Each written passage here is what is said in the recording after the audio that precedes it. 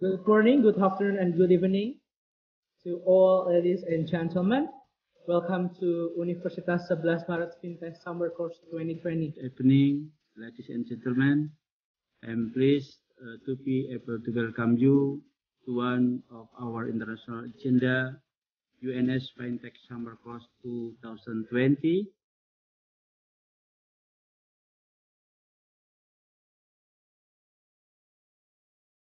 Okay, that's great. So we have future, we have technology, we have um, advanced.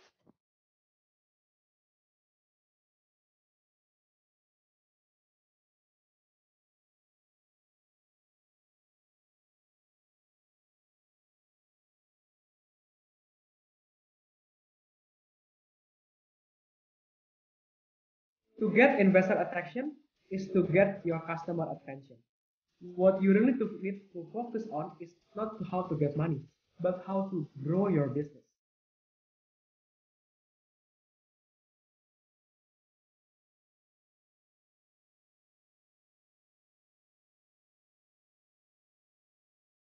Uh, please. and professionally. their consumer is, is definitely So here, sustainable way. And usually, another participants, students wants to give uh, the live question for you, Miss Leslie. I find that it is interesting that the involvement of central banks is it possible that the change of value in these cryptocurrencies will affect uh, the transmission or uh, the macroeconomics or any economics policy that the central banks are trying to make? where they talk about so it is has nothing to do with cryptocurrency, has nothing to do with Bitcoin, and is not for speculation.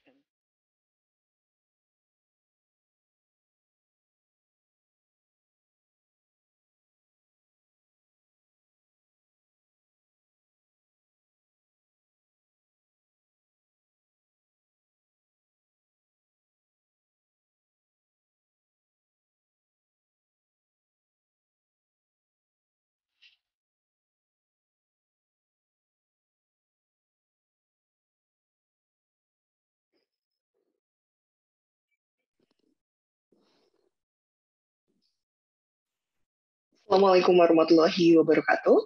Rector for Universitas 11 Maret, Professor Jamal Wibowo. Vice Rector for Planning, Partnership, Business, and Information Affairs, Professor Sajidan. Director of Partnership, Development, and International Affairs, Dr. Irwan Trinugroho.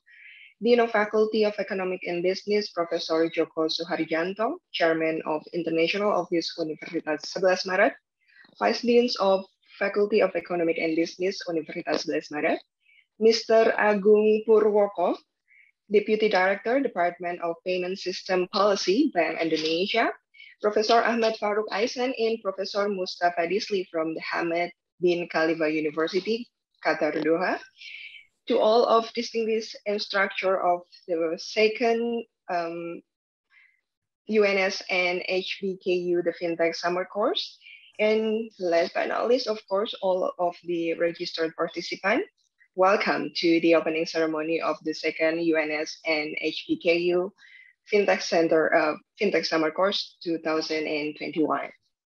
So this uh, summer course is hosted and organized by the Center for Banking and uh, FinTech Universitas 11 Indonesia in collaboration with the Hamad bin Khalifa University Qatar and also Faculty of Economic and Business Universitas 11 Maret. Ladies and gentlemen, I'm Dewanti Chinese and it's such a big pleasure for me to be part of this significant agenda. So uh, to us as an introduction, I think it will be good for us to see the video profile of the Center for Banking and FinTech Universitas 11 Maret. So ladies and gentlemen, let's take a look.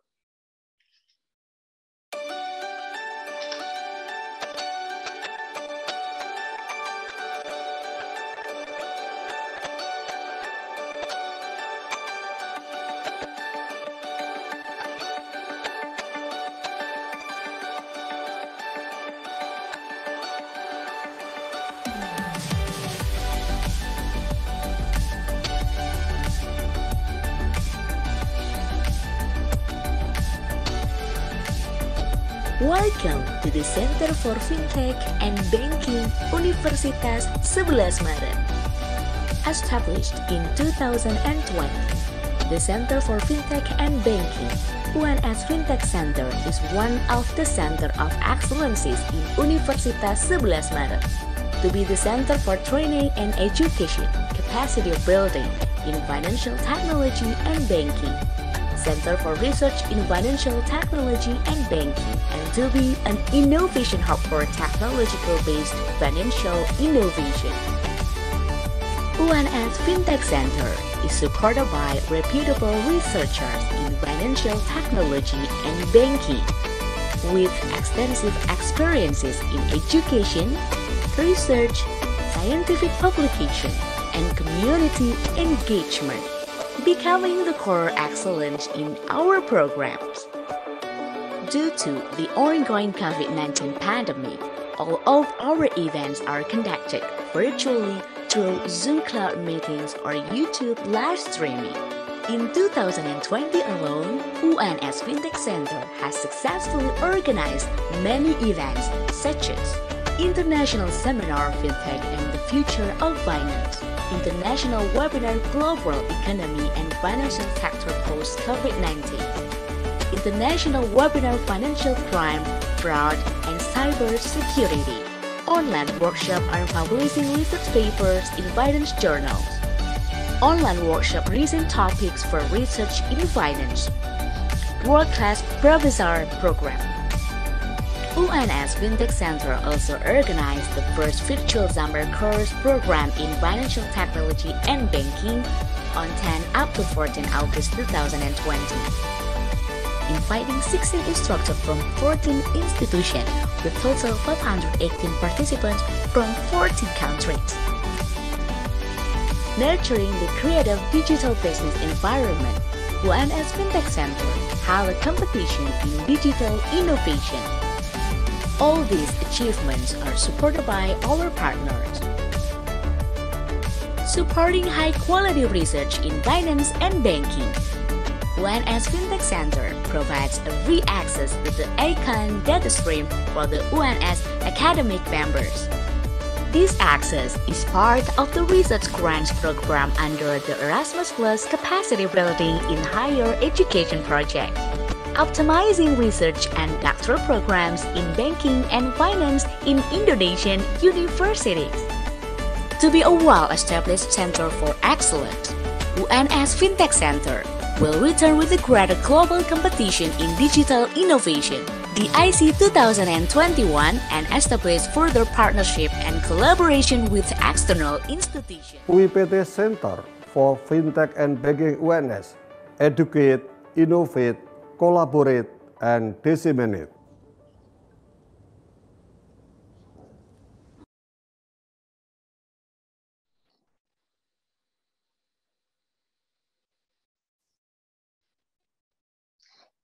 Ladies and gentlemen, so that was the uh, profile for the Center for Banking and FinTech, Universitas 11 Maret. And as we can see from the profile that we see that as the Center for the Excellent, uh, Center for Banking and FinTech Universitas 11 Maret are highly, uh, is highly committed to deliver a good FinTech summer course, of course, by engaging a very professional of the instructor from academic and also from the uh, professional also.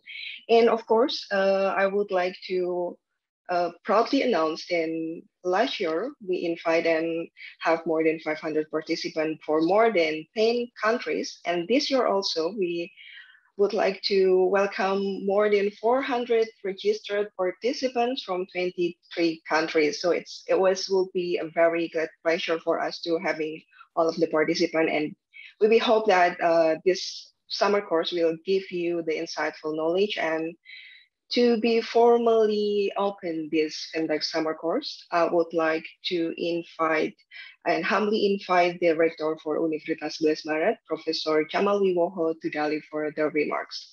So, Prof. Jamal. Thank you.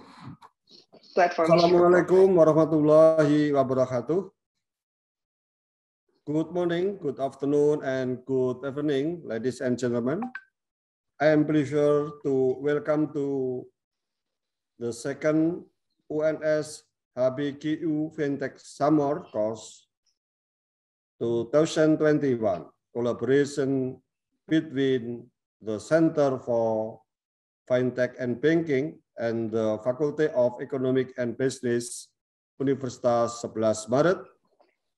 We also happy that the summer course is also collaboratively organized with the support from Hamad bin Khalifa University, Qatar. Ladies and gentlemen, first of all, I would like to extend my gratitude to God because the blessing we can the gather in this event, even though still in the pandemic situation. Secondly, I am honored to welcome all 15 invite instructors who will share their knowledge and insight to all FinTech summer school students. They are coming from academic, practitioner, FinTech specialist, and regulator. Let me give me my warm welcome to Professor David Lee, the President of Global FinTech Institute, Mr. Iman Shah, Deputy Commissioner of Indonesia Financial Services Authority, OJK, Mr. Agung Purwoko, Deputy Director of Bank Indonesia, Mr. Sunu Widiatmoko, General Secretary of the Indonesia Joint Fintech Association, Mr. Paul Scott, founder and editor of Schulte Research, Mr. Diki Wijaya, Chief Information Officer, Industry, Professor Ahmed Farouk Aisan from Hamid bin Khalifa University, Qatar, Professor Alistair Milner from Longbourn University, United Kingdom, Professor John Kuldel from University of Akron, United States of America, Dr. Mustafa Disli from Hamad bin Khalifa University, Qatar, Dr. Ruth Taknek from University of Limoges, France, Dr. Silvana Maya Damayanti from Institut Teknologi Bandung, Mr. Darmadi Gusanto from Alpha GVC Venture, Ms. Clarissa Alvira Gunawan from Alpha GVC Center, and Dr. Putra Pamungkas from Universitas 11 Maret, Surakarta. 400 32 students from 23 countries is registered in the summer course. Therefore, I also want to say hi to all students coming from Algeria, Argentina, Azerbaijan, Bahamas, Bangladesh, Ivory Coast, France, Jerman, Indonesia, Malaysia, Nigeria, Oman, Pakistan, Palestina, Filipina, Qatar, Arab Saudi, South Africa, Timor Leste, Turkey, Uganda, United Kingdom, and United States of America. UNS HBKU FinTech Summer Course 2021 is organized as response to the development of technology and digitalization in the financial industry. This summer course is one of platform for local and international students to equip themselves with the understanding of fintech and banking digital finance. There are 14 models to be discussed during five days summer course with the is equipment with two credit. To all invited instructor, you willing to share the knowledge to all students is really appreciated. I would you can visit Universitas 11 Maret and Solo, Indonesia, somebody.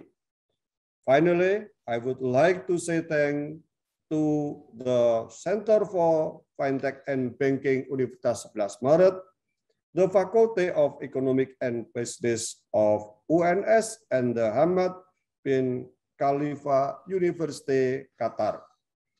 Thank you for all effort you put to make this event possible, including, let me reiterate that I strongly expect that this FinTech summer course will be beneficial to all of us. Thank you. Wassalamualaikum warahmatullahi wabarakatuh. Waalaikumsalam warahmatullahi wabarakatuh. Thank you very much for Prof. Jamal for the remarks. And um, I do very agree that this uh, Center for the Excellence, um, Center for FinTech and Banking Universitas 11 Maret is one of the uh, center that highly committed to give you a comprehensive uh, FinTech and digital economics um, courses to all of the students from all over the world. So this year we have 23 uh, countries participated in uh, and for more than 400 participants registered for this program. And it won't be happen if we have we don't have a very good collaboration. And this year we collaborate with external collaborator from the uh, Hamad bin Khalifa University. And I would like to invite Professor Ahmet Faruk Aysan the representative from the Hamad bin Khalifa University to providing another remark. So Pro, Prof. Aysan, do you hear me? Yes, I I do hear you. Do you hear me? Yeah, it's very good morning, Prof. Very, very good morning to you all. Uh, good to be here. Uh, so, thank you. please, thank you for the uh, kite invitation also. First, uh, uh, His Excellency Rector, uh, Professor Cemal Buahu, thank you very much for this kind introduction and kind speech. Uh, it is always good to be part of uh, this organizations, and I have been following UNS uh, for uh, for uh, more than six years now. Uh, one of my first encounter was in France, in Limoges, when there was a signing agreement for the Erasmus Plus between UNS and the University of Limoges with Professor Amine Tarazi. So since then, mashallah, I am seeing big improvements uh, and also overall as a country, Indonesia ha has been doing great. I am at the advisory board of the uh, Journal of uh, Bank Indonesia, and I have the chance to follow uh, most recent developments. And mashallah, Indonesia is one of the rising countries uh, among the emerging market countries. And definitely this is reflected at, in the universities and UNS is one of them. Mashallah, in the rankings, uh, in the reputation, UNS is rising. So at Hamad bin Khalifa University, uh, we are also uh, trying to follow the same path. Uh, we are rising in uh, ranking and our reputation is even increasing. And one of the reasons is to invest in fintech. Uh, fintech is changing all the landscape and uh, the banking finance will not be same anymore. And especially countries like with large population like Indonesia, and also countries with small population are a lot to benefit from fintech because the larger countries have the potential anyway by the size of the country, by the population of the country, uh, so they can uh, reap the benefits of uh, scale. And for smaller countries like Qatar, uh, they have the chance to invest in technology, in ways of doing business, and to collaborate with the larger countries like Indonesia and to expand into other countries because uh, the scale is quite important in fintech, uh, most of the fintech applications. Uh, but you know uh, what is even more important to be able to foresee this, and that is uh, what I like about this summer school because this is the second fintech summer school, and we are part of the second one, not the first one. So I am very happy to see UNS has take the lead, and thank you for making us part of it. Uh, in Qatar at Hamad bin Khalifa University. We are also investing in fintech. we have FinTech Working Group. We are having uh, seminars. Uh, in FinTech, many of the things are still in making. We are learning a lot from the practice. Even during the COVID-19, there are lots of innovations, new companies, new success stories came out. Uh, so uh, we are all students of uh, fintech in a sense. So we have more than 400 participants today coming from 23 countries. But I believe we will all learn together because it is not something like a very established field. It is still uh, ongoing with the payment systems, uh, with online banking, neo banking, with cryptocurrencies, Bitcoin. Many, many of the uh, advances in finance is actually taking place because of the financial technologies. Uh, so I hope UNS and HBKU will continue this collaboration for the upcoming years because I believe this could be a very good tradition uh, in the uh, context of uh, fintech, and this is the future. There are very good developments. For example, Professor David Lee is uh, with us. He's going to be presenting in one of the sessions. Uh, they have a, a, fintech center in Singapore, and they are doing very good things, and uh, they are even giving some certifications. I'm sure, uh, especially for younger generations, for our younger participants, it is the good place to invest. And inshallah, uh, if we have any contribution in their success in this ongoing progress of fintech, we will be more than happy. Again, I would like to thank uh, for uh, University of Sebelas Maret, and I would like to thank the rector. I would like to thank Dr. Irwan and his team uh, at the FinTech Center because, mashallah, they are always easygoing. Uh, they are always very quick, uh, very adjustable. They have done most of the work. I would like to thank them. and again, I would like to thank all the speakers, participants, very distinguished speakers we have, mashallah. And I hope we will continue this tradition, hopefully at some point in Qatar in the upcoming years. Inshallah. Thank you very much again uh, to all of you. And I wish you the best, inshallah. Salam alaikum. Waalaikumsalam warahmatullahi wabarakatuh. Thank you very much, Prof. Aysan, and thank you very much for the compliment also for the, the center and the UNS and for the collaboration also. And I think as you mentioned that as you found that the, the Center for the FinTech and Banking Universitas Smart, it's fulfilling by a very agile person. And Baik. also, sudah I think selesai dan mohon maaf think, saya kebetulan. Okay, and I, I think also the spirit for the Center for FinTech and Banking is also in line with the uh, the spirit of the FinTech itself. So we need to be agile and we need to be very adjustable. And ladies and gentlemen, uh, distinguished uh, invited uh, VIP and also all of the participants. I think we are about the end of the opening ceremony of today's agenda. And for the um, to documentation our uh, to document our event today, I would like to uh, invite all of you to stay in the platform and open your camera on because we will have the photo station with all of the participants and all of the uh, attendees today. So the committee, are you ready? So, uh, ladies and gentlemen, I would like to remind you to open your camera on.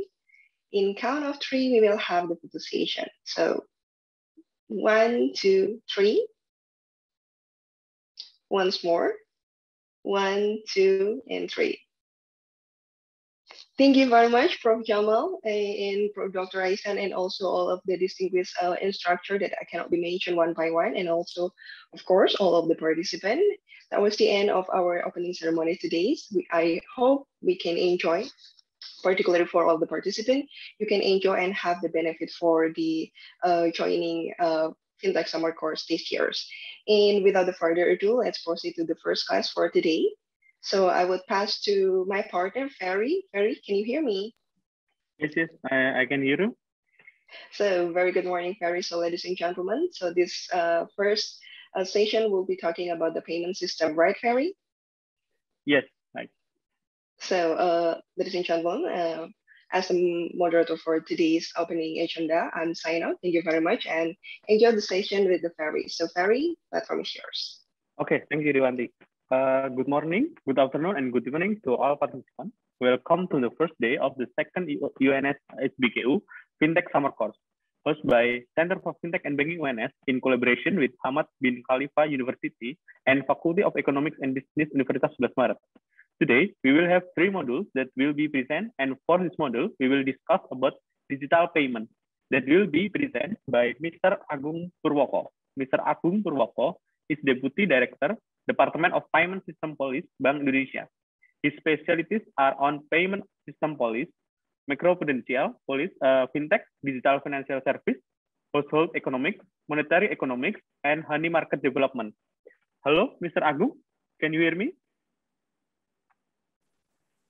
Hello, good morning, uh, Ferry. How are yeah. you today? Yeah, good morning. How are you, Mr. Agung? Fine. Yeah, thank you. Thank you for joining with us uh, from the, uh, for this session. Okay, before we start the session, please pay attention to these several rules. Number one is please turn on your camera and rename your Zoom username into your student ID uh, underscore your name. It will help us to recognize us as well. The Q&A session will be open after the material delivered by instructor and you are allowed to submit your question through Zoom chat box or simply you can raise your hand. Uh, so I will help you to get the access permission for live Q&A. The attendance list will be open after I request all participants to fill it. Use your student ID uh, and name to fill the attendance list. And number three is please respect the other students, instructor, or the committee members during the session. And number four is you can refer to the booklet that we already sent through the email before uh, detailed information. Without further uh, ado, to Mr. Agung Purwoko, the time is yours.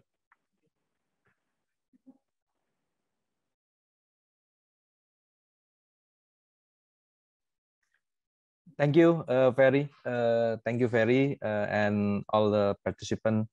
Hello, Mr. Ahmed. Assalamualaikum warahmatullahi wabarakatuh. Uh, thank you for uh, inviting us, uh, UNS inviting us again in this uh, session. Uh, today, uh, as as a fintech, uh, how fintechs work, uh, you usually use in collapse mode. in today presentation, I also invite my colleague to co collaboration with me to share the materials regarding the transformation in digital payment system. I also invite my my colleague uh, Abdurrahman to today's session. And uh, please, Abdurrahman, uh, uh, share our materials here. And and in today until 11:40, I will share three parts of this presentation. First, I will talk about the the digital economy in finance, what is current development, what's a global a global uh, development in this issue, uh, how business, uh, our definition, how the how business uh, development, uh, the development of business and actors uh, and model business model, and also and how regulators, how we regulators deal with this issue. And the second part and third part, my colleague Abdurrahman will share the development in, in digital in Indonesia digital economic update and also uh, the role of central bank, the role of Bank Indonesia in this issue. Uh, next, Pak Bedur, and this is the uh, this is the our career journey in Bank Indonesia. I also invite Pak Bedur to tell about her him uh, about him, and uh, I actually joined in Bank Indonesia since 20, 2005 as a regional economist and regional economist. uh, I started my career in 2005. Uh, in 2011, I received an assignment as a financial market analyst. And uh, actually, my uh, previous moment when I'm uh, accompany deputy governors since 12, 13, and uh, three years.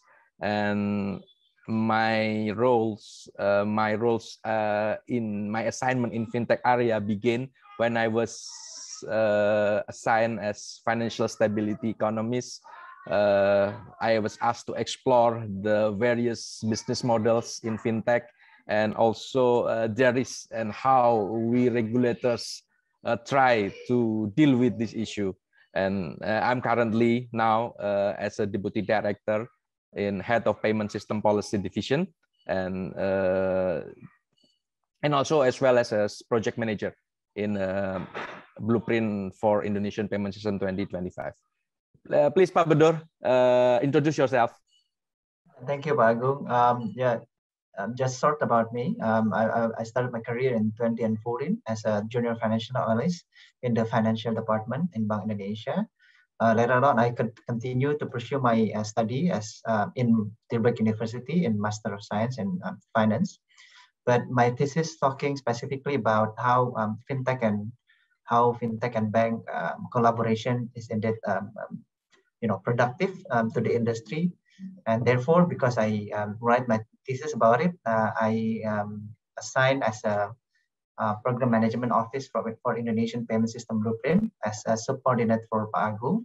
and yeah as Agung said before that uh, our job is basically a lot um, a lot analyzing or or, or um, doing an assessment on digital economic and finance maybe that's uh, for me thank you continue to you Pak Agung. Okay, thank you, uh, Pak Bedor. Uh, let's uh, move to the next slides. Uh, here today, uh, maybe in one hour, uh, next one hour, we will talk about three three issues: digital economic and finance, Indonesian digital economics update, and the role of central bank in digital era. And after that, 30 minutes, we can discuss about the, the issue on these areas. next, uh, let's move to first part. And I, I will begin uh, the first part of this lecture by revisiting the essence of uh, digital economy. Uh, studying digital economy since 2017, uh, I often get uh, three questions. Is the digital economy it's just about technology? is the computer the main actor? and is the main actor on uh, will the role of human disappear uh, if we adopt the digital economy i then searched the for literature uh, on digital economy and i found the book called digital economy written by don tapscott this book was published in 1995 uh, for me actually it was historic year because those years were my first year when I was student, as you maybe have fun uh, being student. Also, my first year learning about Microsoft Word and Microsoft Excel at that time. And uh, there are actually three interesting things about this book, and I I I suggest you explore more about this book. And first, the internet was with its open market changed the nature of firm, as uh, Ronald was uh, uh, uh, mentioned. Uh, the business active exit sector of company, including the formation of transaction costs. In simple word, business model transformation and industry formation. And now it's happening. The digital economy is changing how companies do their business. And synergy and collaboration is the uh, keywords. And they're also getting faster and there are also the changing in pricing strategy. This is the first one. And the second one is ecosystem and leadership. Uh, at the beginning, there was no taxonomy and the language uh, of how digital revolution occurred. But then it develops into, into collection of uh, individuals, a collection of teams in, in organization, and uh, extends to companies and to form an ecosystem. Uh, actually, now I'm a living witness uh, in area of payment system, how digital payment ecosystem based on QR code and now uh, open API ecosystem is growing. And leadership is also the key to expanding uh, uh, the issue on the ecosystem. And it was not only comes from regulator, actually. Uh, sometimes uh, comes from the market, the industry, and also from customer. And it's just like what this book, which released in 1995, uh, talk about it. And number three, the dark side and call for action. The dark side and call is maybe like a Star Wars. Uh, this book also discuss about side effect, uh, the digi- uh, side effect of digitalization Uh, there are privacy issues, privacy issues, and centralization of business, uh, and uh, including the freedom. The freedom. Digital economy requires yesterday manager to become tomorrow's uh, leaders. And as we enter the new age, uh, the future won't just happen. It will be created. And, and if we all get involved, our values, aspiration, and growing expectation will shape and drive the transformation. So what is the conclusion actually, according to the three uh, question? First one, digital economy is not just uh, about technology. It's also problems and a business model for solution. And number two, uh, the computer, it, uh, it's just a calculating tool. So don't worry if you are not expert in computer. Uh, they still need the human who direct as a leader. As me, I'm not actually an IT IT expert actually, and maybe uh, Badur is also is not an IT expert. Uh, we are actually a finance person who jump in this industry and uh, and uh, analyze and uh, uh, contribute in our expertise uh, in in improve the society. And number three, the role of humans remains but change, change. The important things is to notice how to overcome the dark side. Uh, let's move to the next slide, uh, Mas Badur. And uh, this is actually the book uh, released in 2020 and it's also talk about uh, uh, and the the essence of digital economy is still uh, much debate uh, a lot of debate about the definition and characteristic of digital economy uh, this is not only happening in the academic world as the in the book uh, discussed but also in practical areas in in our areas actually including the policy formulation therefore on this occasion i hope all the participants uh, will review the literature, uh, read a lot of books in digital economy and digital finance, and uh, compare with existing practices.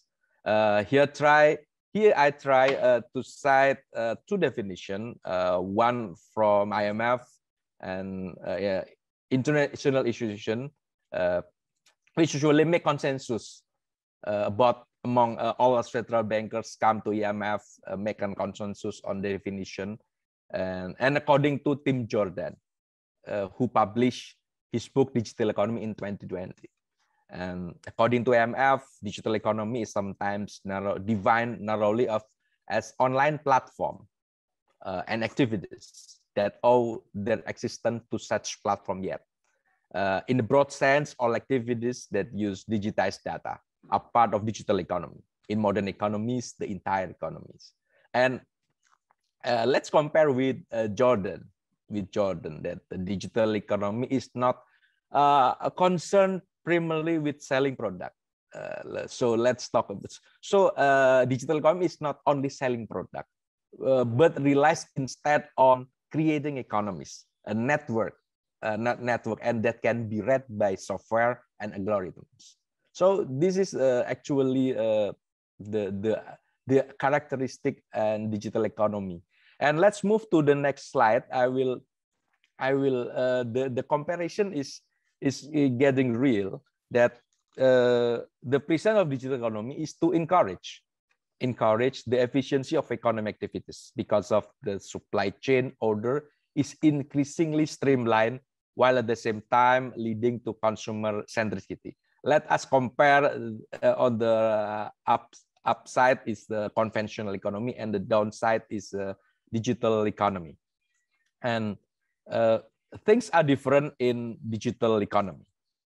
Uh, the market is replaced in conventional economy. First, uh, let's uh, uh, talk about the conventional economy. In conventional economy, consumer must come to the market to fulfill their needs as as you said that the customer and maybe you you you should go to the mall okay you should go to the market to to buy your product uh, so the supply chains order is uh, so uh, on the, the on the production side there are also several level range uh, on wholesalers manufacturers to retailers And now let's go to uh, the compare with digital economy. Sorry. Uh, the market is replaced with the e-commerce platform, e-commerce platform, which can contain wholesalers and retailers. So uh, wholesale retailer is now part of the platform, now platform. And meanwhile, customer consumers no longer need to go to the market. Uh, you can uh, maybe you can also buy your your uh, stuff uh, with uh, in in in this lecture maybe maybe your father told me oh I forgot to pay bills uh, pay your bills so maybe you you can now now you can use it so a consumer no longer need to go to the market. New business model has emerged, namely a delivery service that deliver good to the last miles.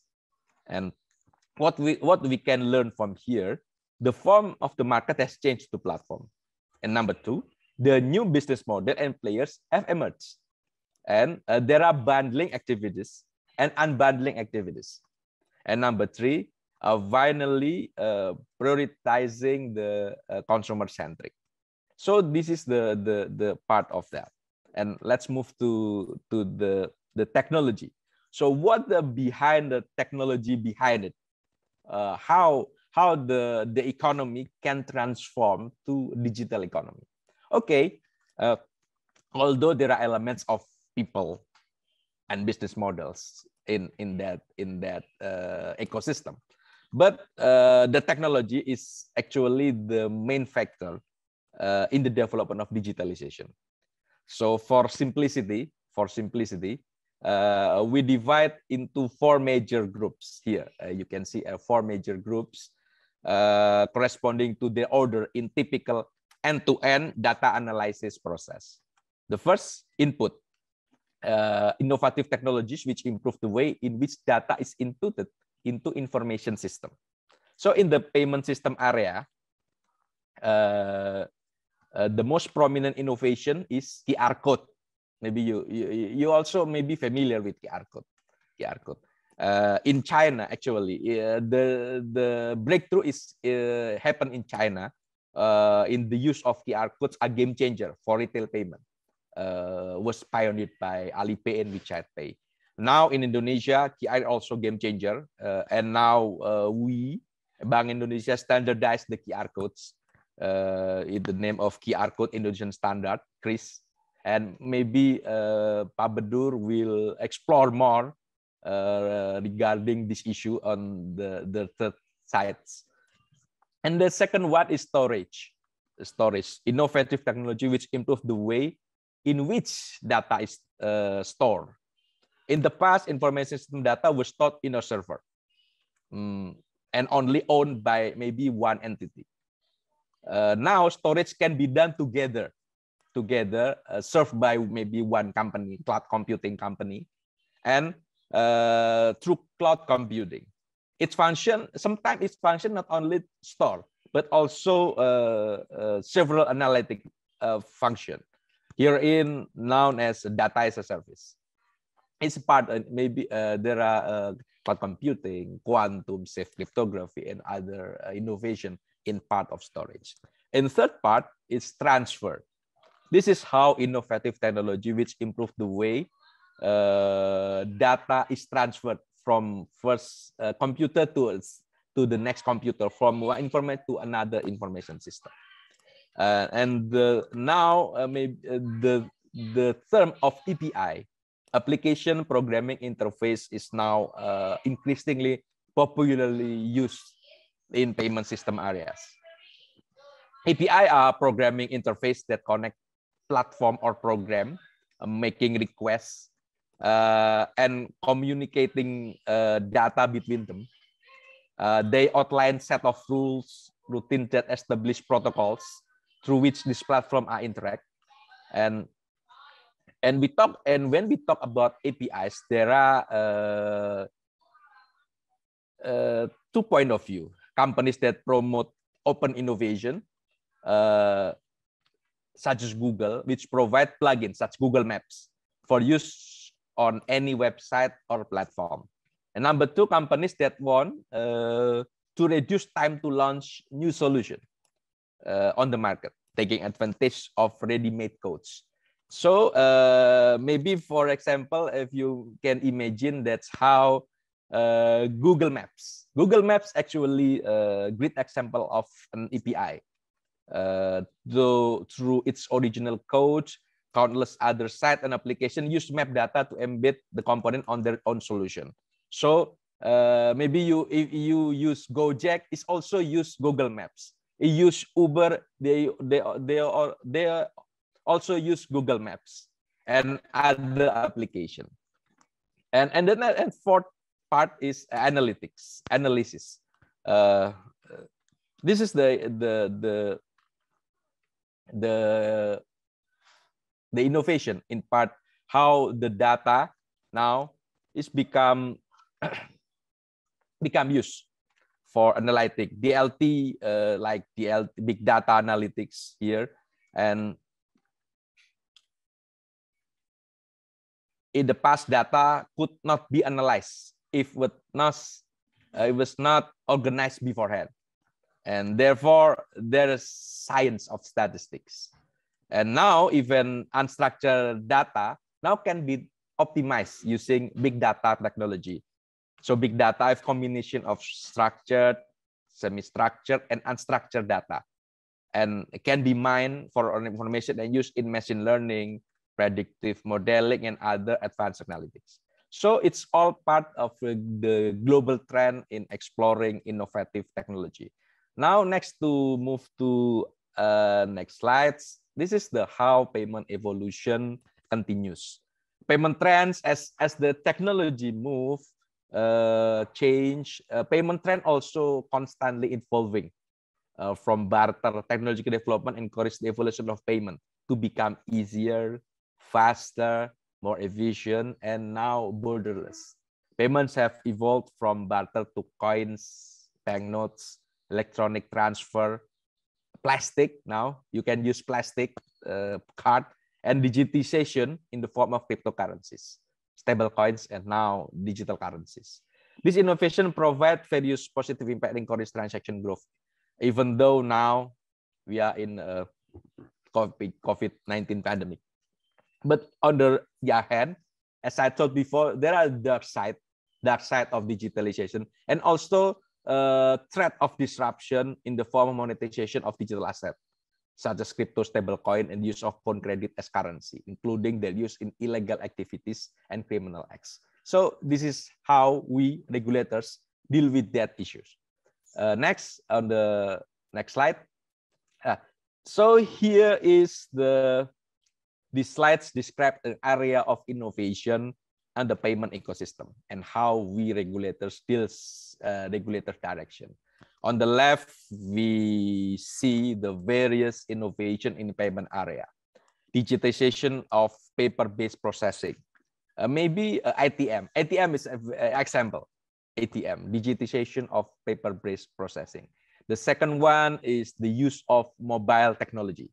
Now you can pay uh, not only by your card or uh, money, but also use your uh, mobile phones. It can connect it to your electronic uh, wallet, electronic wallet or e-money or uh, your bank account is.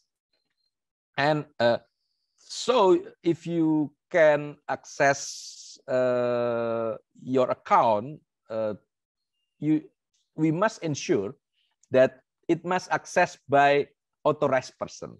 So therefore, digital ID verification is a must, is needed. Uh, now is now also growing, uh, so developed from PIN. Maybe you know using you enter your PIN number, four number, six number, and now uh, now you uh, if you forget your PIN, maybe you can use your uh, biometric, uh, your hand maybe or now getting to your face. This is part of uh, the innovation in digital ID.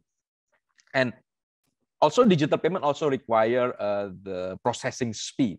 You can pay instantly, instantaneously between banks uh, because there is a fast computer, fast computer uh, that does the, that do the processing. Number four, in making transactions, sometimes you need help. Oh, uh, you need help or assistance from the bank person. And now, uh, many banks use chatbots. Chatbots, and it's part of customer service automation here. And API, as we discussed earlier, payment data is now also widely uh, used as credit scoring inputs. And, and on the regulatory trends also moving, both triggered by uh, by demand and on supply.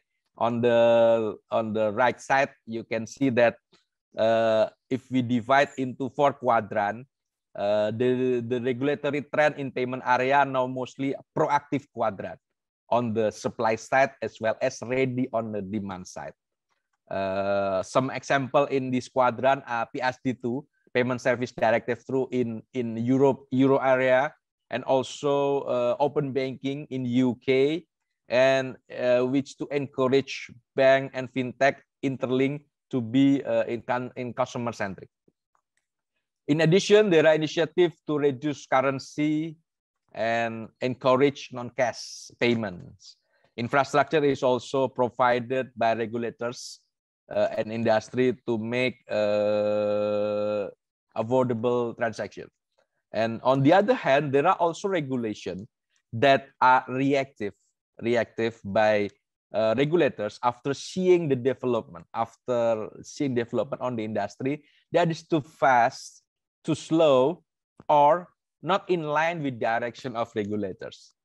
An example is regulation of interchange fee in some countries, in many countries that uh, perceive that uh, considered is too high. Uh, regulators uh, intervene with uh, regulation on a capping uh, interchange fee and on or tightening peer-to-peer lending rules in China, imposing AML CFT rules as well as the uh, regulatory and supervisory framework for fintech.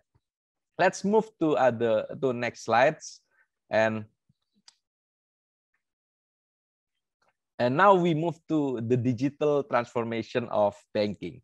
So uh, the technology advance have raised many fintech companies that began uh, to disrupt banking services. At least six key technologies used in digital banking, API, as I mentioned before, uh, have potential to deliver new and more tailored products and services to customer. Uh, cloud computing as I mentioned before, also institution that are investing significantly in cloud-based solution, which enable automated services to be provided uh, to a broader range a number of customers. Now, uh, most new fintech solutions are born on cloud. So, so digital banking now born on cloud. Uh, uh, and cloud-based technology are becoming essential to integrating uh, with other application. Microservices also. Microservices are a software architecture wherein application are created as individual program. This enables them to be used in a modular way by different product and service line in firm. In example, for executing one function at time instead of being integrated in single technical infrastructure. AI, machine learning, and big data, it also and biometric and blockchain, the effectiveness of blockchain technology. And uh, on the right side, we see the comparative tables. Maybe you can uh, explore more after read these materials.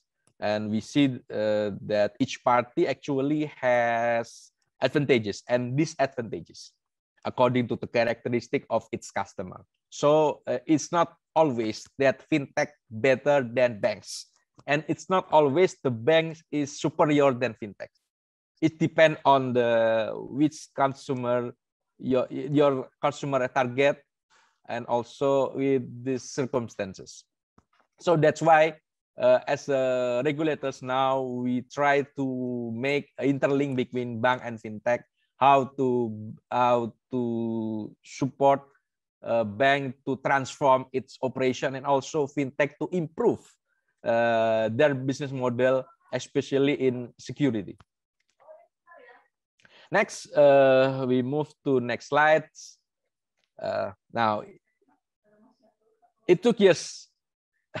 so the, the slides actually is uh, is very good uh, uh, examples for the vision.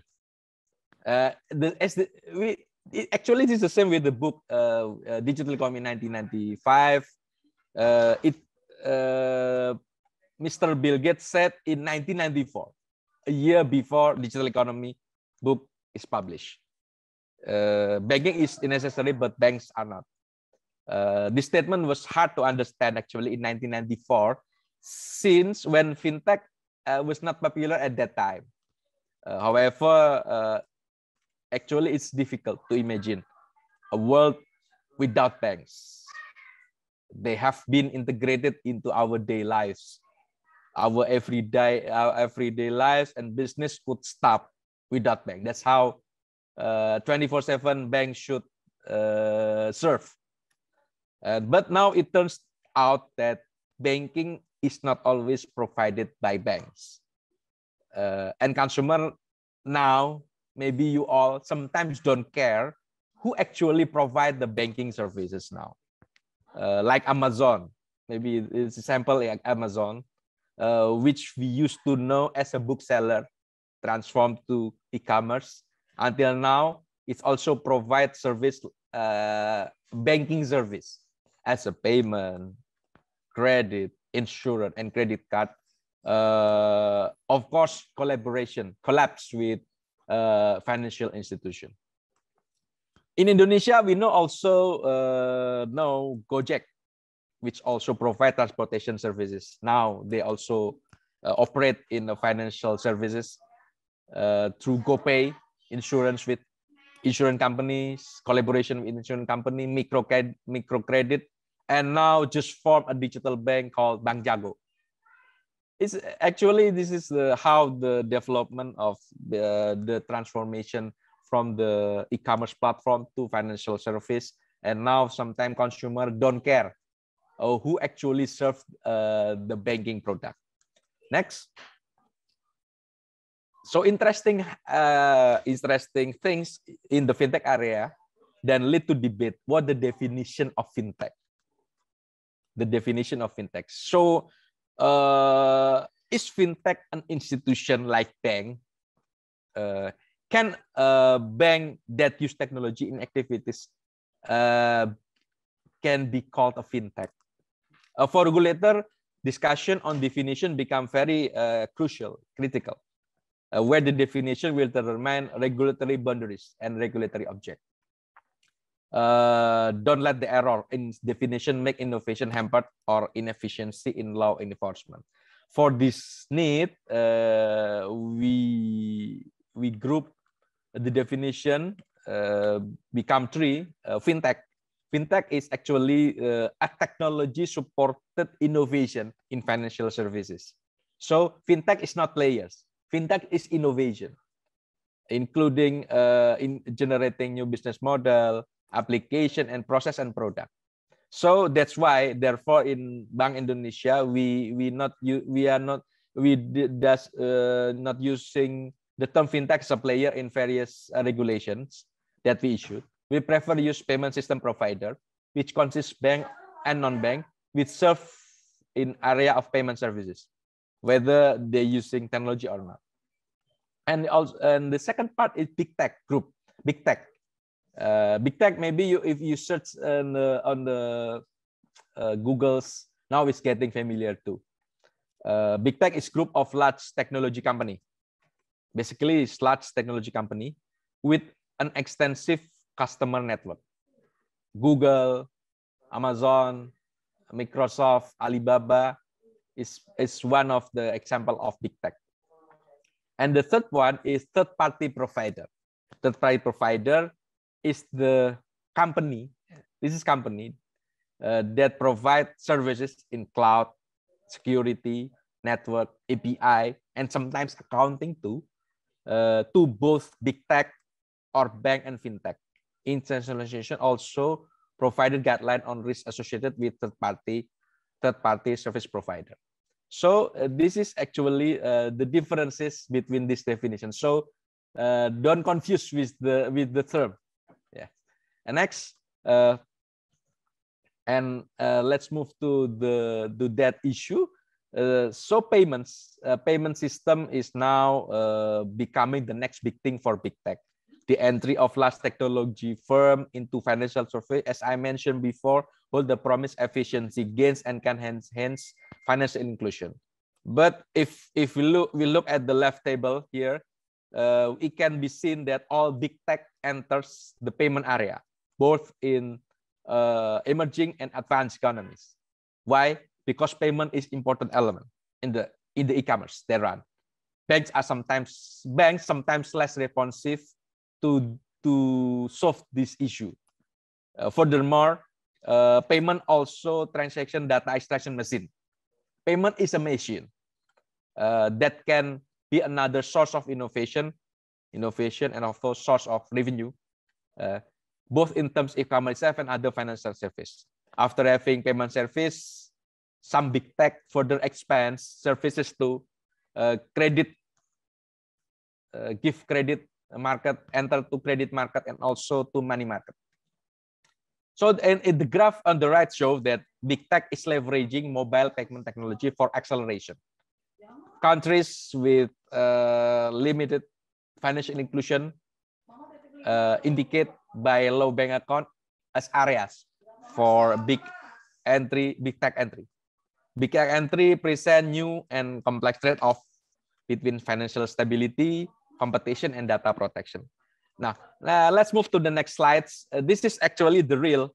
Uh, this is our op-ed article in uh, one of the one of uh, newspaper.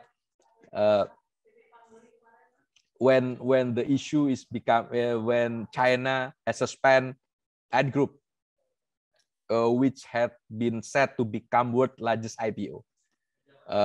One day after regulator had grilled Jack Ma, who found the company. That case was never happened actually on the IPO suspend at this stage. It never happens. But in China, it happened. Uh, there is a lot of speculation actually uh, over the suspension. But from our point of view, uh, there are at least three things. First one, uh, business boundaries and regulatory range are becoming increasingly blurred, really blurred here. At the beginning, China's regulator was welcome. But when it expanded, it required recalculation because even though the form was different, the risk that emerged from financial activities carried out by Ant Group actually the same aspect. So the same risk should be the same regulation. And uh, uh, maybe uh, PBOC, the Central Bank of China, the government of China, uh, see there's the increasing risk regarding the uh, Group operation and goes to IPO. The second one is source of systemic risk shift. The separation, actually, the separation of financial sector followed by strict regulation and supervision. Uh, it is the essence with separation of risk. But if now there are boundaries, uh, of course, uh, there is increasing risk on, on, on that issue. And so regulators should uh, focus, should uh, shift also, also shift the the attention not only not only in financial sector but also in in in e-commerce on digital economy so uh, this is the issue. Number three uh, new and integrated way of surveillance. So regulators need new way of surveillance not only based on reporting. Uh, we we as central bank or a financial supervisory usually uh, do our job, do our job in supervision based on reporting and inspection. But now we should move to another uh, uh, uh by technology side like regulatory technology and supervisory technology. The next, this also this also the the growing trend digital asset for digital economy.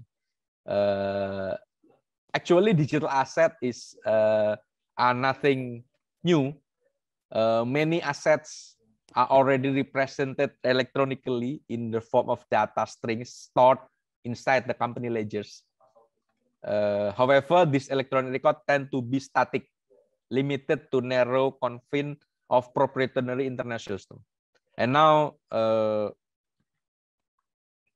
digital asset actually uh, move to more dynamic, more dynamic. And maybe we can focus on the crypto asset system, ecosystem. Uh, the crypto asset system made 2000 of crypto asset and each of crypto asset has its own local ecosystem.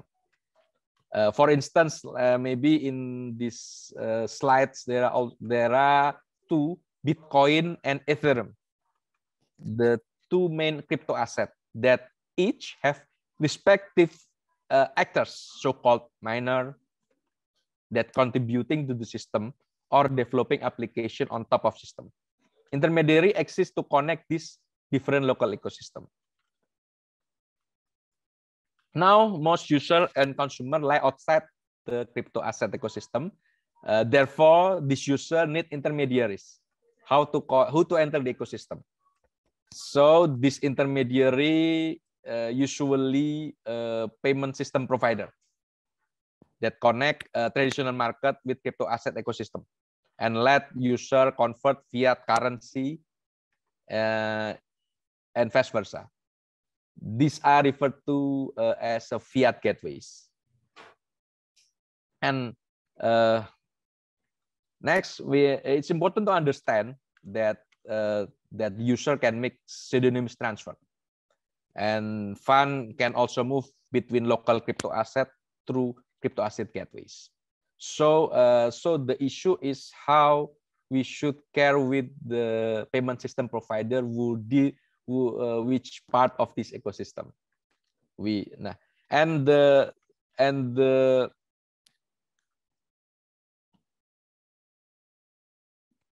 development is we, we should care is stable coin actually Stablecoin uh, are digital tokens that aim to maintain stable value and to solve uh, their origin stories generally trace back to crypto world.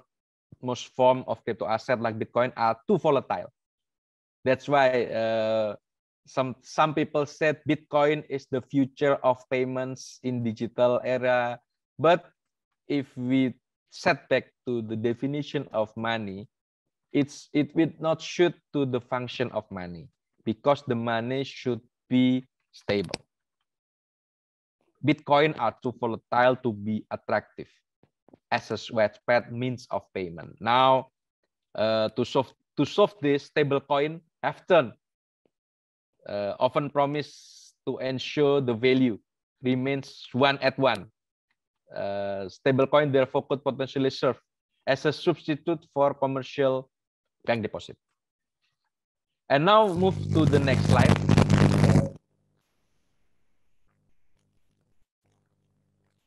So central bank digital currency. Now it comes to digital uh, central bank digital currencies that now become one of our topics central bank. Central bank are hard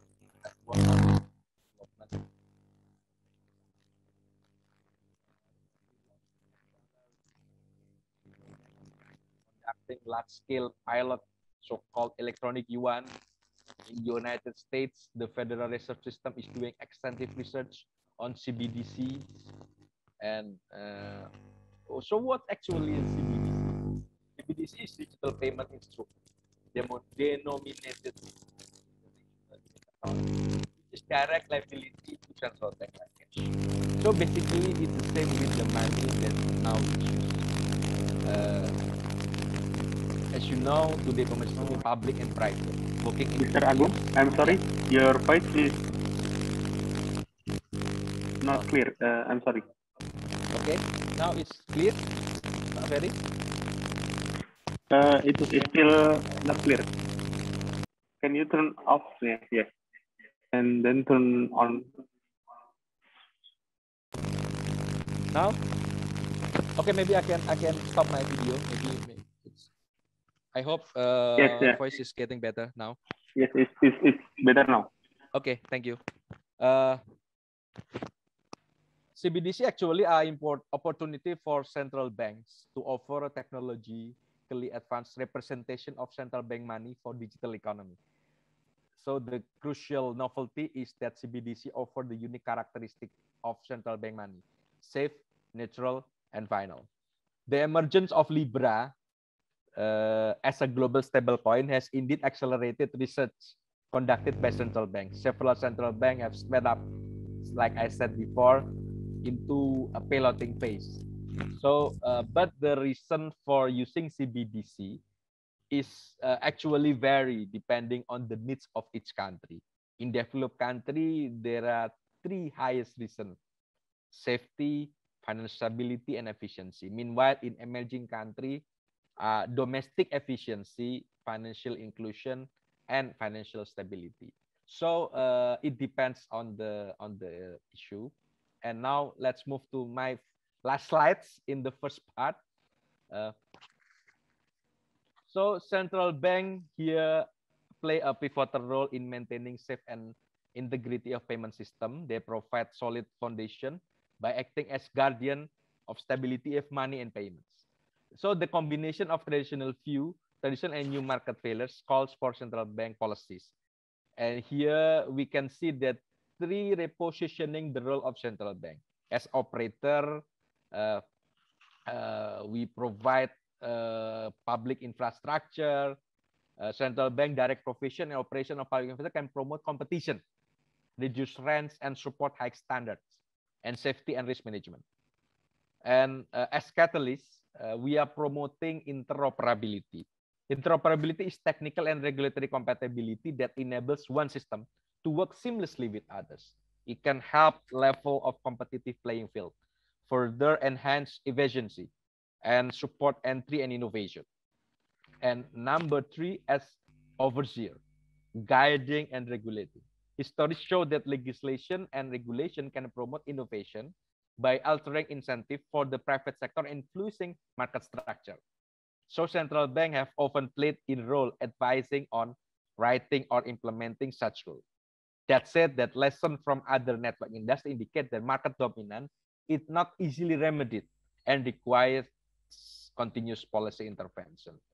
Digital platform raise challenge actually for traditional antitrust or market power analysis. Today, the price of structure of platform does not confirm the textbook model of monopoly pricing. Likewise, even where price of retail customer are declining, lack of competition may be slowing innovation. Thus, uh, we as central bank, uh, we need to reassess regulatory approach by looking across platform globally, enhancing cooperation among central bank and other authorities. That's uh, on my part in the first uh, part. Uh, let's Pak Bedur uh, move to the next part. Thank you, Pak Agung. Um, um, previously Pak Agung has already explained a lot about global phenomenon and how regulator um, change their approach in and, and um, regulating the, the, digital economic and finance. I, I, will try to focus on how Indonesian digital economic updates and how um, uh, we can Bank Indonesia's regulatory response uh, to this uh, to those phenomenon. Now, the first slide I'm talking about how Indonesia is basically has a strong digital foundation You can see that um, Indonesia has a very good uh, demographic structure dominated by millennials and, and, and we have a lot also a high internet penetration. You can see on the left hand side that, that our demographic structure is dominated by millennials, uh, Gen Y and Gen Z, which is 90, uh, 59%. And this allows digital technology in Indonesia to be adopted very quickly. Now, also, moreover, until quarter one in 2021, Indonesia has become the largest, the fourth largest internet users in the world, with a total of 171 uh, million people, or no, 175 million people, or 64% uh, of the total population. Now, this massive digitalization in Indonesia is also supported by increasingly affordable access to technology, thus enabling uh, increased public participation that has not been covered by uh, conventional services.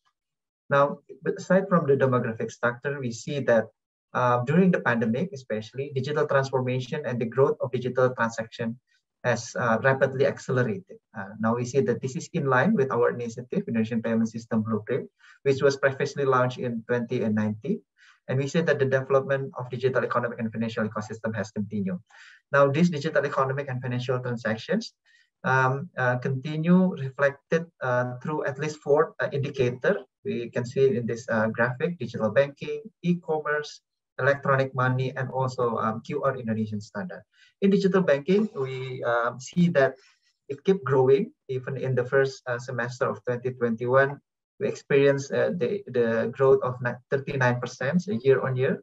On the e-commerce side, it's even more phenomenal. The number that we see, uh, we increase 63% uh, transaction in e-commerce year on year. On um, electronic money also by 41% and more uh, more phenomenal. In QR Indonesian standard, since its launch, it's already been uh, grown by 214% uh, year on year, the transaction. Now, aside from the um, the demographic structure, the um, adoption, and also the transaction that, that keep growing, from the industry perspective, we see that the number of fintechs also keep accelerating. In the last four years, uh, 2016 to 2020, there has been a very significant increase in the number of fintech players. We see that an average um, of 110% uh, um, growth per year um, in, the, in the number of uh, fintech players. Not also in the number of fintech players. Now, in 2016 and 2017, the fintech business model was generally only payment system and P2P lending.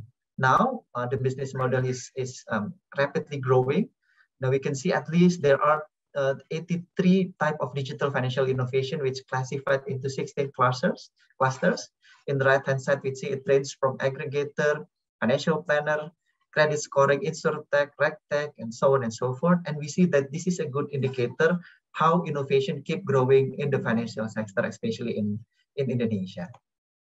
Now, not only from the financial sector, other type of business we see also keep innovate especially in the uh, especially during the pandemic era they keep doing uh, pivoting strategy in their business and the containment measures during the pandemic um, uh, ppkm trigger more innovation from the business or what we call as home economy which prompted the creation of various new business models uh, on the supply side. You can see banking from home is the new banking. There are also taxi delivery grocery fuel on delivery and supermarket booking have become the uh, mainstream solutions for economic activities without having to ignore the COVID-19 health protocol.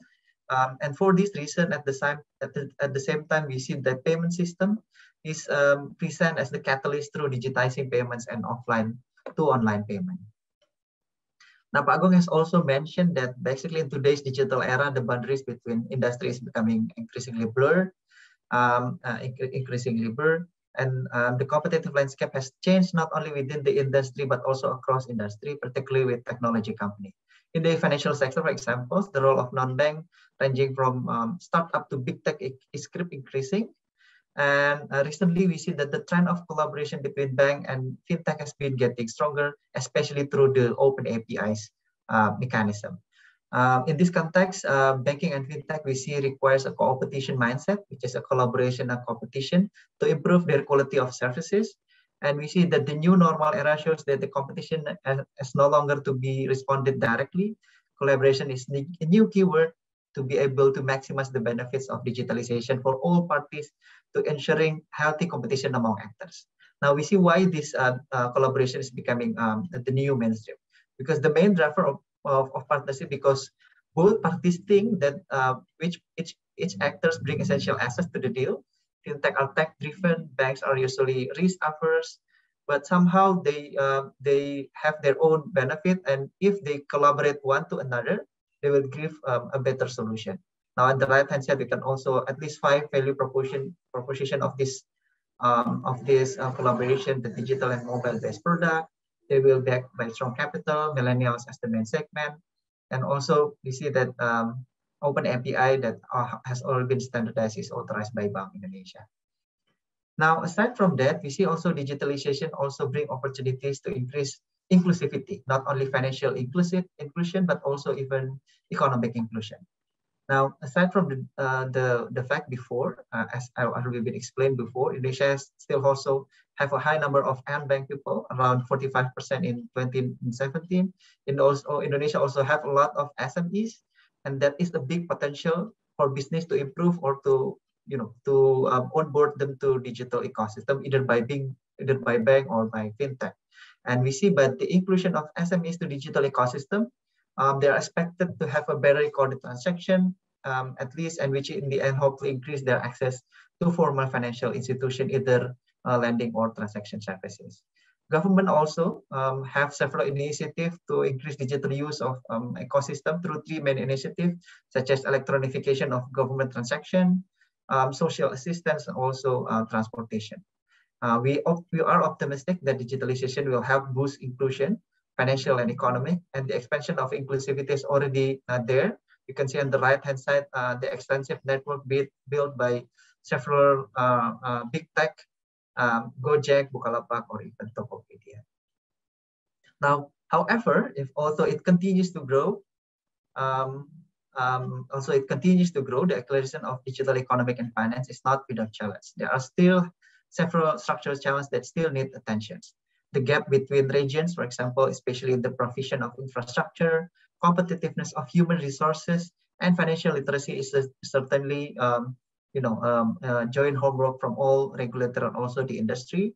In addition, the center of economic activity also is still very um, concentrated in the island of Java, especially in DKI Jakarta. Also cause the distribution of digital transaction still uneven now. Therefore, we think that digitalization needs to be navigated through a comprehensive and structural policy approach that so digital transformation is able to integrate the, particip the participation of all economic actors, both large and small, uh, from inside Java or outside the Java into an inclusive and sustainable digital ecosystem. Now, this slide also show another data supported that Indonesia still have structural challenge, especially in three main area, digital talent, technology, and also future readiness. And therefore, we think we really appreciate this kind of initiatives or program held by um, academia like uh, uh, university uh, like UNS to improve the skill set of the uh, student and on the digital area. Now, considering all of the factor, the condition, and the fact I've mentioned before, we think that the outlook for digital economic and finance in 2021 is expected to remain positive until the end of uh, the year we believe in our optimism, at least after seeing four facts of digitalization. First, the transformation of e-commerce, uh, product and services. Second, the collaboration between uh, players, bank and fintech. The third is the expansion of ecosystem through corporate action. Uh, we already see you know, some of corporate action that have witnessed together, like uh, Gojek with Tokopedia merger, Grab, Emtek um, cross investment, and the, the recent uh, IPO of Bukalapak shows that basically digital is keep growing. Um, the trust of uh, people is there, and this is a good momentum uh, to be uh, supported. And for the and the last, we see that banking digitalization keep uh, growing, especially with open API, both to old players and also new players with various strategic model ranging from strengthening internal capacity and also expanding ecosystem. Now, considering all of the factor, now the question would be as an authority how to strike the balance between harnessing digital opportunity and mitigating the risk. Bank Indonesia, as the central bank of Indonesia, of course, does not remain silent. We realize that uh, authorities must be able to strike the balance uh, between efforts to encourage the development of innovation and efforts to mitigate the risk.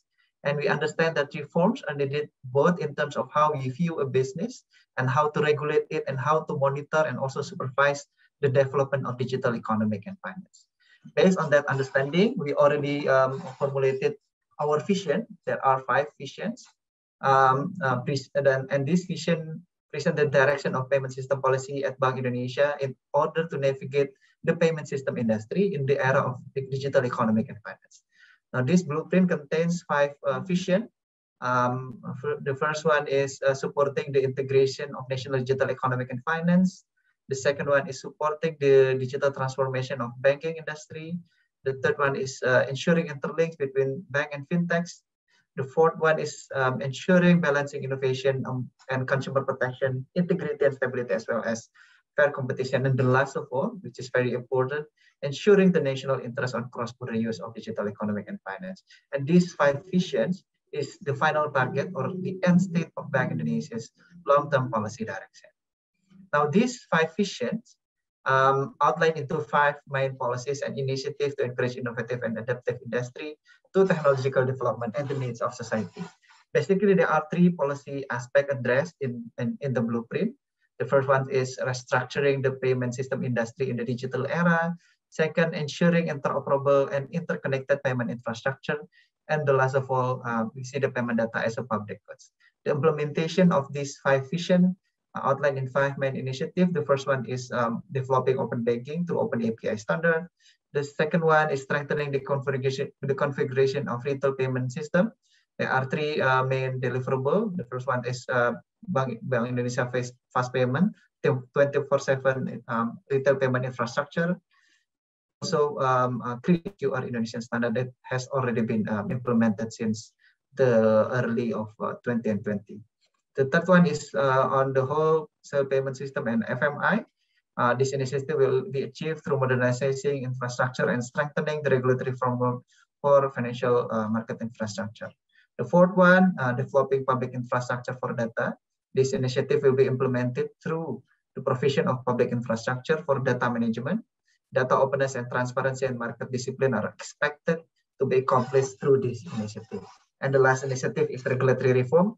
This initiative will be achieved through strengthening the framework of payment system, regulatory and supervisory framework, as well as promoting an integrated licensing regime.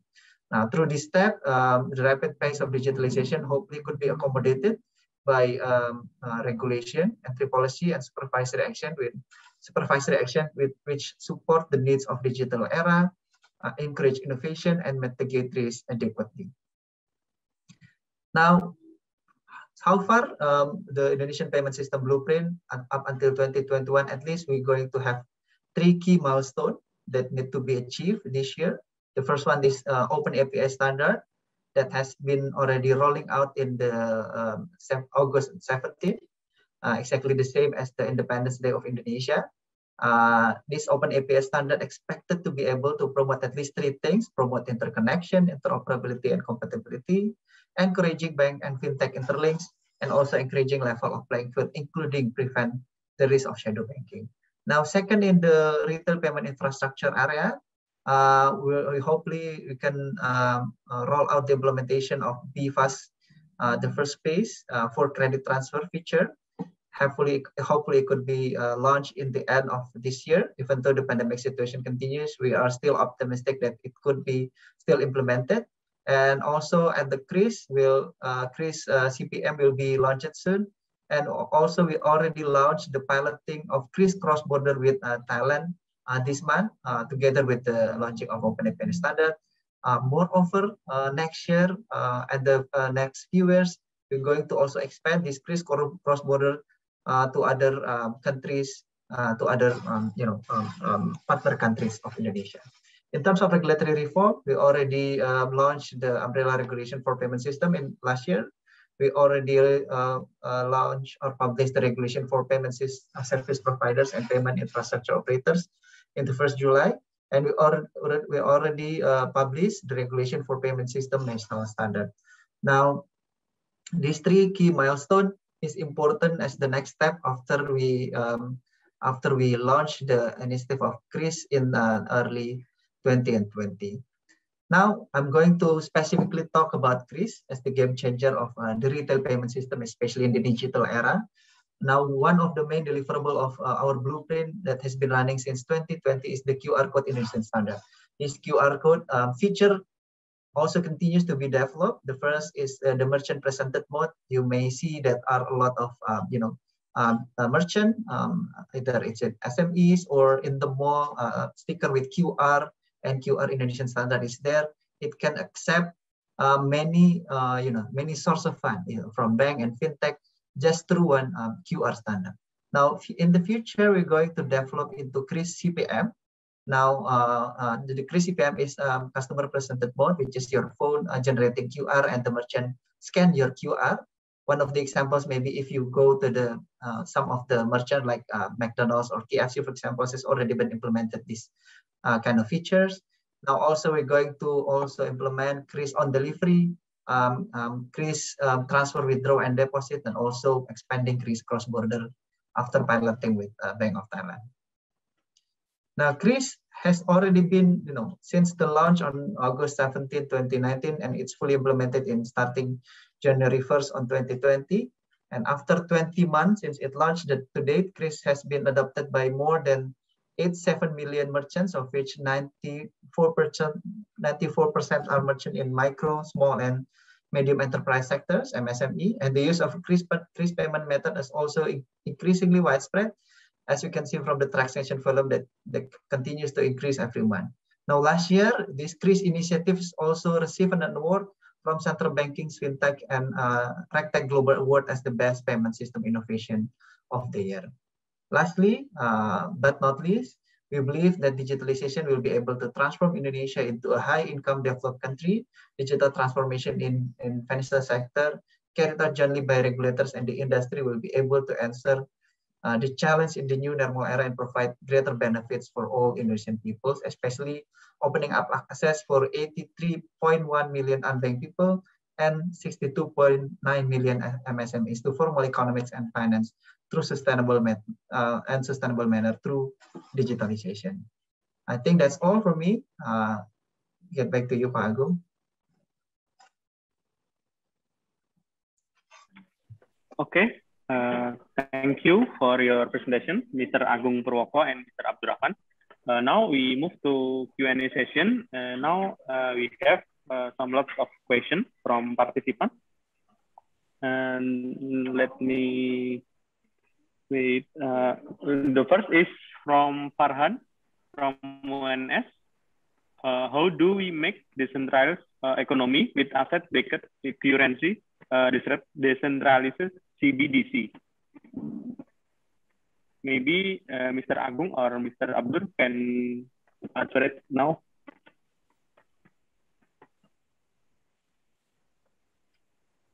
Sorry, can you repeat the question? Um, a, little bit hard to understand that.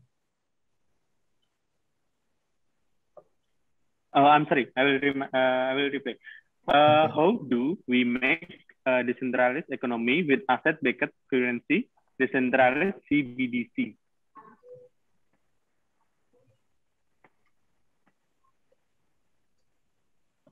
Pago, will you answer or, or, or let me answer? yeah. Mr. or Mr. Abdul? Okay, uh, sorry.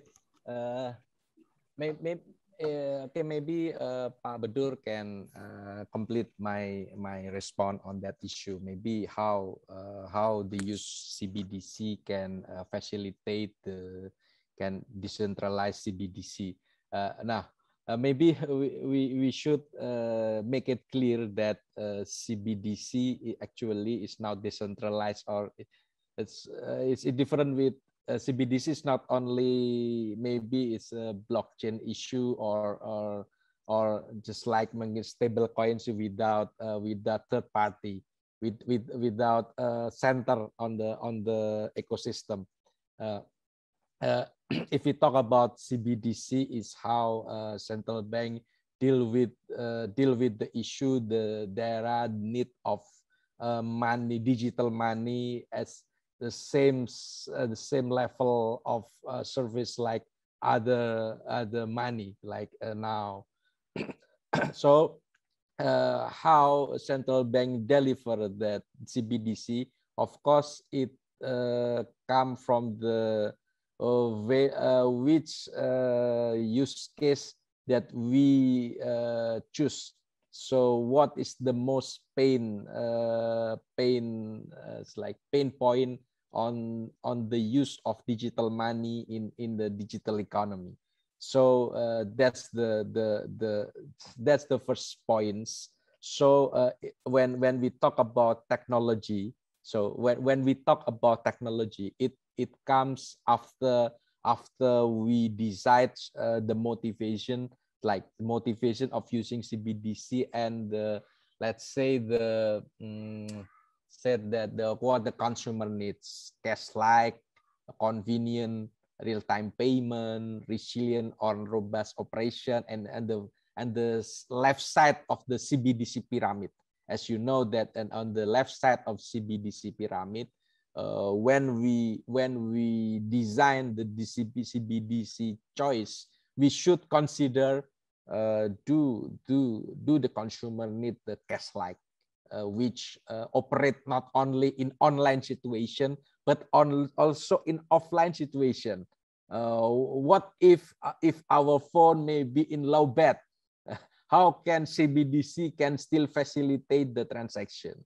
Uh, so uh, that's why we should consider how CBDC operate in in low bed uh, environment, and also if do do CBDC also facilitate cross-border payment?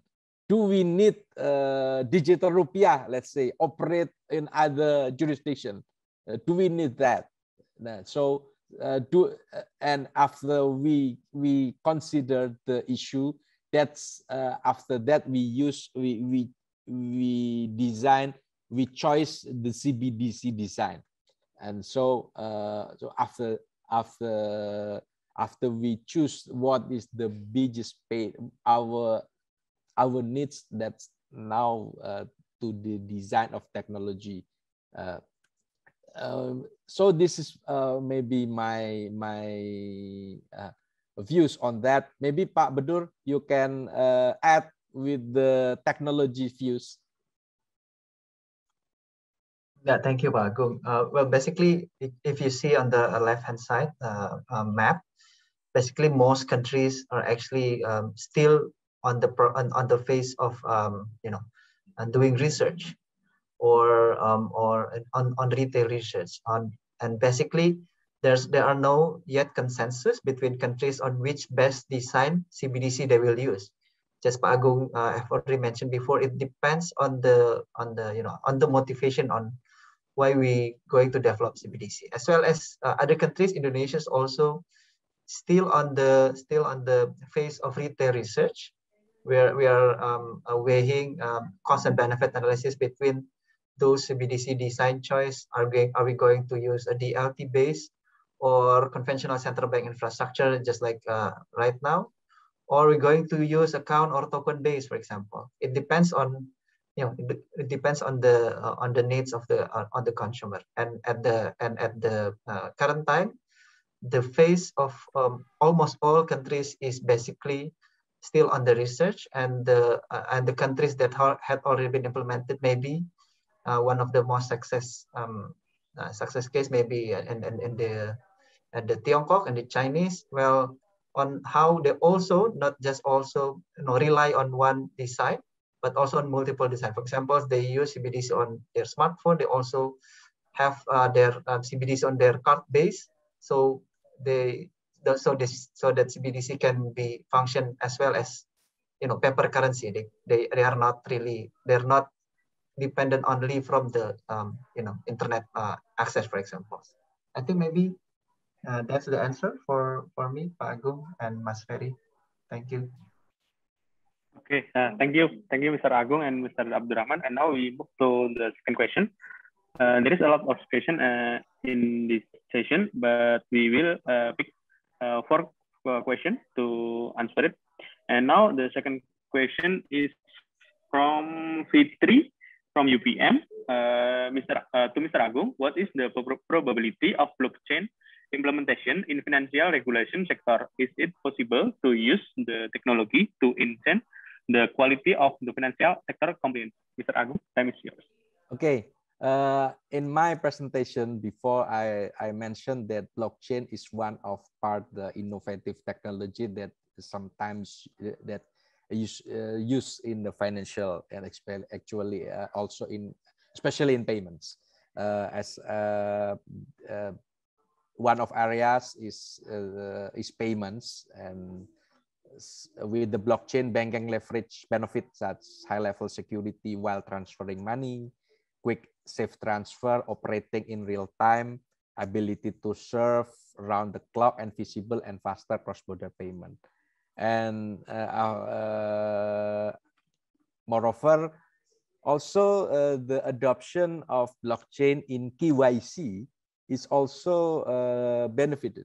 The typical onboarding process of customers is actually usually quite expensive and consumes a lot of times.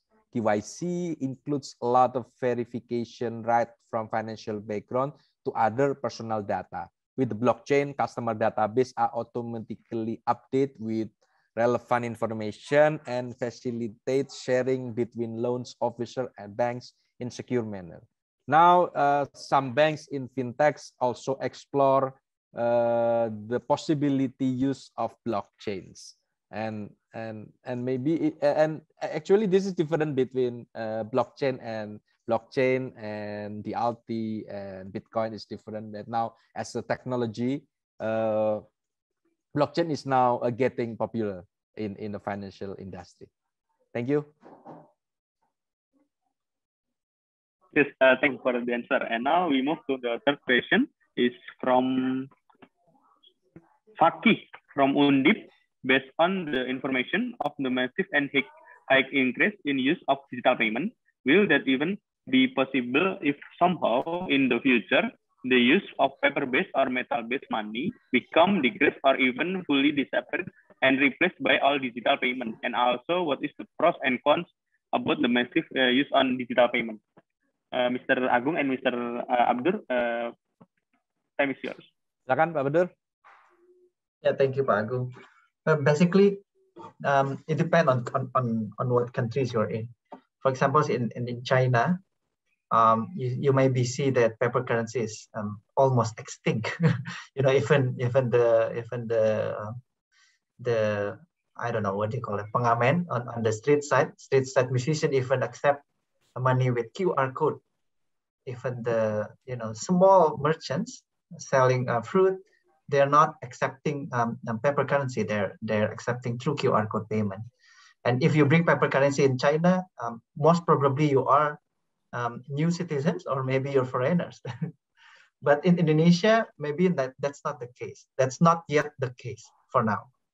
But um, but yeah, for now, that's not yet the case. Uh, the data shows that basically, even though digital payment is keep increasing, the needs for paper currency is also still high, even though the growth is um, decelerating. It shows that basically, you know, um, uh, somehow, maybe in the in the uh, in the time of pandemic, also some people need uh, paper currency as as you know as, as backup, uh, just in case their you know their local merchants in in their neighbor our neighborhood area still not yet accepting cashless payment, for example, and so on and so forth. Therefore, you know, um, you know, cash still still there.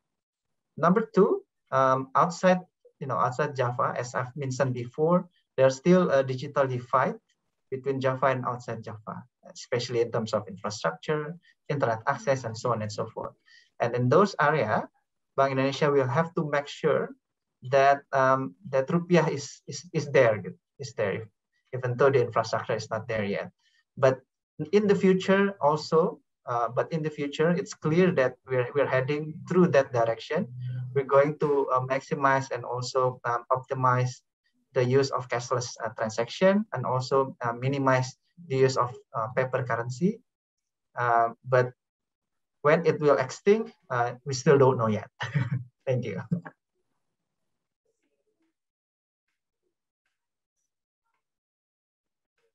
Okay, thank you, Mr. Abdur uh, and Mr. Agung. Uh, you want to answer it or just move to the next question?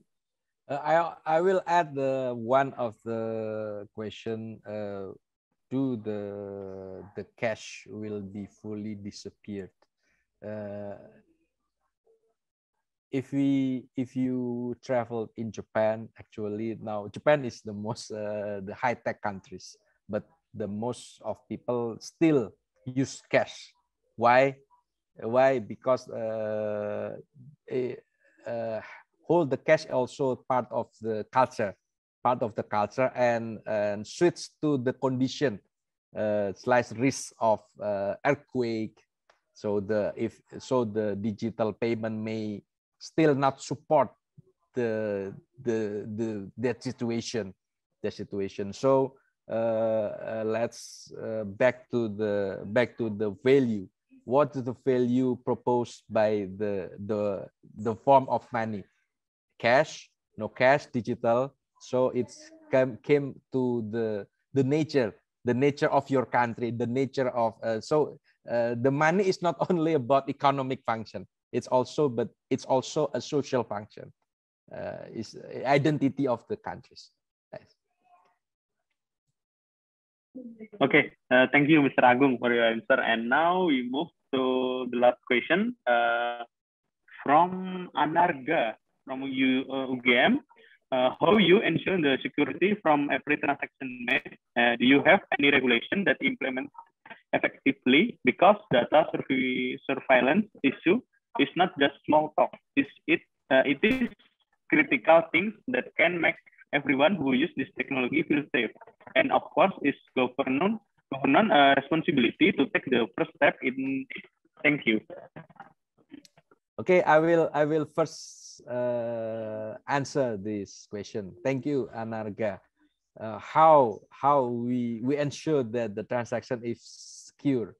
Uh, that's why we we set the the regulation and we set the regulation uh, set the regulatory parameters who should uh, who can uh, who, who is the player can meet the standards. That's why in our regulation we issue the peraturan Bank Indonesia for payment system uh, peraturan Bank Indonesia for payment system provider uh, payment system infrastructure provider uh, they should comply with our standard our standard in in management, our standard in technology, our standard in security, and and that should comply with this regulation. They also we also have a supervision team, uh, supervision team which regularly supervise the the transaction and make sure that all the all of the infrastructure uh, meet the meet our standards. That's how uh, that's how and and uh, uh, we have a sanction of uh, if the if the payment system provider uh, not comply with our regulation. So so that's that's our that's our role in how to ensure the security in every transaction made. That's why the payment system provider should should have the uh, should uh, comply to to the standard. Like um, in payment system we have PCI DSS standard. Uh, so and if and if there are some uh, maybe activity uh, the our our supervisors can come to the to the to the payment system provider infrastructure and uh, supervise what's going on on that issue. Okay, Pak maybe you can add uh, the information. Yeah, thank you, Pak Agung. Um, just as already mentioned by Pak Agung, basically every payment system provider in Indonesia have to be has has to be through licensing regime or licensing procedures in, in Bank Indonesia the, and this licensing requirement is um, uh, set by Bank Indonesia to make sure that uh, they have adequate um, infrastructure, adequate um, cybersecurity uh, uh, system, and so on and so forth. After they are becoming payment system uh, provider, they're, they're, they're going to be supervised regularly. And beside that, we also have, um, you know, set of uh, regulation um, besides our payment system um, regulation, we already we also, we also just released um, um, Bank Indonesia regulation on consumer protection. On that and on those regulation, we touch a lot about how uh, data protection becoming an important matter for for the con consumer, because as we know that in this digital era, data is the new oil, and if data is not managed uh, well or data is not managed properly by this payment system provider, they're going to lose trust from the consumer and the consumer could easily uh, change or shift it to other uh, payment system provider.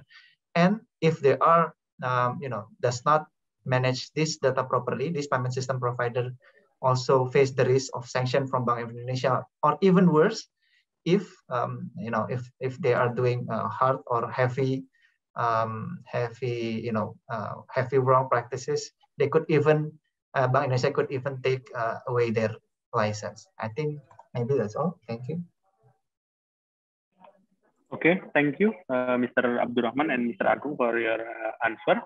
And now uh, I will remind their participants, uh, don't forget to fill the attendance list and because the attendance list now available to open it. And now uh, I think there is some que good question. Uh, I'm sorry, Mr. Agung and Mr. Abdurrahman. Is from Farhan. Uh, I'm sorry, my question is a little bit off. Uh, this is the correct one from Farhan UNS. Uh, the correct uh, question is uh, how do we detect suspicious activities such, such as money laundering, money laundering, the drug trafficking, etc. Uh, that is done using privacy coin such as Monero, where the transaction history is being dealt cashlessly, maybe. Maybe uh, Mr. Agung or Mr. Abdurrahman can answer it.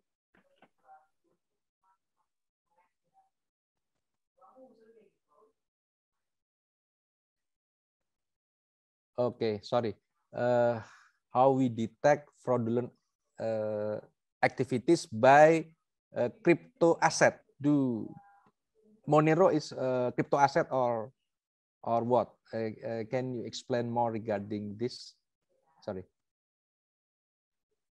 Privacy coin. Uh, maybe we can talk to Farhan for uh, left question, maybe.